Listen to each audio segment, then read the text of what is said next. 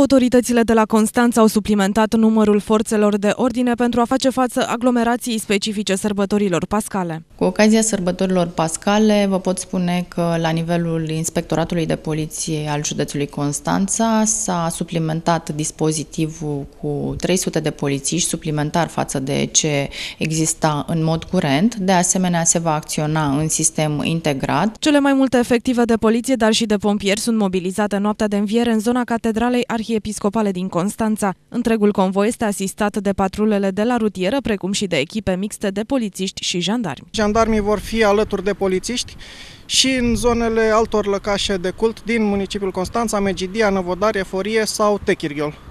Totodată vor fi constituite și rezerve de intervenție capabile să intervină prompt pentru luarea măsurilor legale dacă situația o va impune. Pentru a vă putea bucura de sărbătorile pascale fără incidente neplăcute, autoritățile vin cu câteva sfaturi. Parcarea autoturismelor și autocarelor se va face în vecinătatea lăcașurilor de cult, astfel încât să nu blocheze ori îngusteze căile de acces necesare pentru intervenția autospecialelor de salvare. Cetățenii trebuie să țină lumânările aprinse cât mai departe de haine și de obiectele combustibile, precum icoane, decoruri, mobilier sau coroane. Adoptarea unui comportament decent în conformitate cu normele de conviețuire socială. Evitarea purtării la vedere a obiectelor de valoare care pot atrage atenția, acordarea unei atenții deosebite bunurilor și obiectelor personale. Pompierii Inspectoratului pentru Situații de Urgență și medicii de la ambulanță și smurt sunt pregătiți să intervină în orice situație în tot județul, dacă vor exista solicitări prin numărul de urgență unic 112. Iar pentru prima zi de Paște, medicii le recomandă celor care se vor așeza la masă să consume produsele tradiționale în cantități moderate, mai ales că mulți dintre ei vin după o lungă perioadă de post. Cumpătarea ar trebui să fie cuvântul de ordine atunci când vine vorba despre deliciile din carne de miel, cozonaci sau vin.